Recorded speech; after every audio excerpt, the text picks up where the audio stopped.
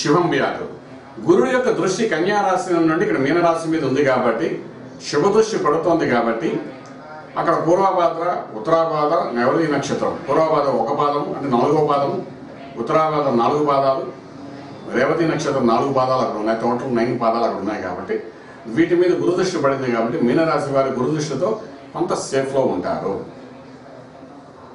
ప్రస్తుతం మీనరాశి వారికి భాగ్యంలో శని కూర్చున్నారు అదేవిధంగా మీనరాశి వారికి రేపు వచ్చే నవంబర్ నుండి రాజ్యస్థానంలో శని వస్తాడు రాజ్యం అంటే ఉద్యోగం చేసే ప్రదేశంలోని వ్యాపార వ్యవహారం చేసే ప్రదేశంలో శనీశ్వరుడు వచ్చి కూర్చుంటాడు.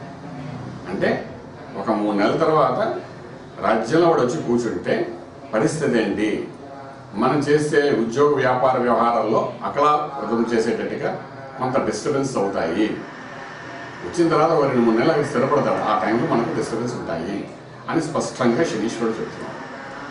వాడు వ్యాపార వ్యవహారాల్లో ఇన్కమ్ ట్యాక్స్ రైడింగ్స్ అవ్వడం ఉద్యోగంలో ఉద్యోగం పై అధికారుల ద్వారా మనకి ఇబ్బంది కలగడం మనం చేసే పని మనకు నచ్చకపోవడం మనం ఎప్పుడో చేసిన ఒక చెత్త పని బయటపడడం దానివల్ల మనకు టెర్మినేట్ చేయడం ఎప్పుడో చేసిన పొరపాటు బయటపడడం వ్యాపార వ్యవహారాల్లో ఎప్పటివరకు సాఫీగా నడుస్తున్న భాగస్వామి వ్యాపారంలో చిన్ననాటిలో జరిగిన ఏదో సంఘటన దృష్టిలో పెట్టుకుని వాడి వ్యాపారంలో కొంత బలహీనపడ్డం తగాదాలు రావడం. రాజ్యంలో ఎప్పుడైతే శని వచ్చాడో ఆ రాజ్యాన్ని అతలాగతం చేయడానికి ప్రయత్నం చేస్తాం.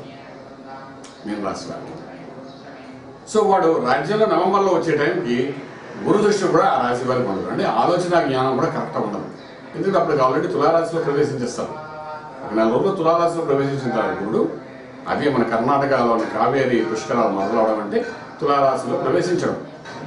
ప్రవేశించగానే ఏంటంటే మీనరాశి మీద ఉన్న గురుదృష్టి పోయి మేషరాశి మీదకి వెళ్ళిపోతుంది గురు దృష్టి. అంటే అక్కడ అక్కడ మార్పు వచ్చేస్తుంది ఆల్రెడీ సో ఇక్కడ మీనరాశి వారు చేయవలసిన పని ఏంటి? పూర్వభాద్ర ఉత్తరాభాద్ర తర్వాత రేవతి నక్షత్రం వాళ్ళు ఈ రెండు మూడు నెలల కాలంలోనే గురుదృష్టి ఉన్న నెల రోజుల్లోనే కొన్ని నిర్ణయాలు తీసుకుని స్టాండర్డ్గా కన్సిస్టెంట్గా ఒక నిర్ణయంతో ముందుకు వెళ్ళడానికి ప్రయత్నం చేయాలి. ముందు కాలం మంచి రోజు ఇంకా మంచి కంపెనీకి వెళ్ళొచ్చేమో అనుకుని ప్రయత్నంలోని ఏవో ప్రయత్నాలు చేస్తుంటారు. ఆ ప్రయత్నం ఏదో నలుగు రోజులు అయ్యేటట్టు చూసుకోవాలి. ఇప్పుడు ఉన్నది బలోపేతం చేసుకోవడం ప్రయత్నం చేయాలి ఏదైనా. ఉద్యోగ ప్రయత్నాలు అనుకోండి ఇంటర్వ్యూలో అనుకోండి కాంపిటేటివ్ ఎగ్జామ్స్లో అనుకోండి. ఓకే ఇది వచ్చింది కదా వచ్చిన దాంతో తృప్తిపడడానికి ప్రయత్నం చేయాలి. ఉన్నది వదిలేసుకుని వచ్చే నెలలో వచ్చేసే ఇంటర్వ్యూలో సక్సెస్ఫుల్ అవుతాం కదా అందులో నేను సంపాదించుకోవచ్చని ఆ ప్రయత్నంగా వెళ్ళకూడదు. ఉన్నది జాగ్రత్త భద్రపరచుకోవడం దాన్ని కన్సిస్టెంట్గా స్టాండర్డ్గా నిలబెట్టుకోవడం ప్రయత్నం చేయాలి. అది ఆడవాళ్ళు కానీ మగవాళ్ళు కానీ వ్యాపారం అనుకోండి వ్యవహారం అనుకోండి ఉద్యోగం అనుకోండి గవర్నమెంట్ జాబ్ అనుకోండి ఏదైనప్పటికీ ఇప్పుడు కొంచెం కాంక్రీట్గా చేసే గురుదృష్టపడి చేసే ఫలితం అద్భుతంగా ఉండే అవకాశం ఉంది. ఎప్పుడైతే మనకు ఈ గురుదృష్టి తగ్గిపోతుందో తన సొంత ఇంటి మీద ఎప్పుడైతే గురుదృష్టి తగ్గిందో ఆటోమేటిక్గా ఆ నక్షత్రాల వాళ్ళకి రాజ్యస్థానంలో శని ప్రవేశిస్తారు వాళ్ళు చేసే ప్రయత్నాల్లో ఉద్యోగ వ్యవహార ప్రయత్నాల్లో శనిగాడు వచ్చి కూర్చోవడంలో ఇబ్బంది పడే అవకాశం ఉంటుంది. చూడండి ఒక ట్రాన్సిట్ శనిది ఒక ట్రాన్సిట్ గురువు రెండు కలిపి మీకు చెప్తున్నాం మీనరాశి వారికి. అందులో పూర్వభద్ర వారు ఉత్తరాభాద రేవతి. రేవతికి అధిపతి ఇక్కడ బుధుడు కాబట్టి ఇబ్బంది లేదు. శనితో పెద్ద ఇబ్బంది పడదు. కానీ గురువుతో ఇబ్బంది పడే పక్కకి జరగడం వల్ల గురువు వల్ల కొంత ఇబ్బంది కలిగే అవకాశం ఉంది. అదే పూర్వభాద్ర నక్షత్రం తీసుకోవడం అంటే బుధుడికి ముందు ఉన్న నక్షత్రం శని నక్షత్రం.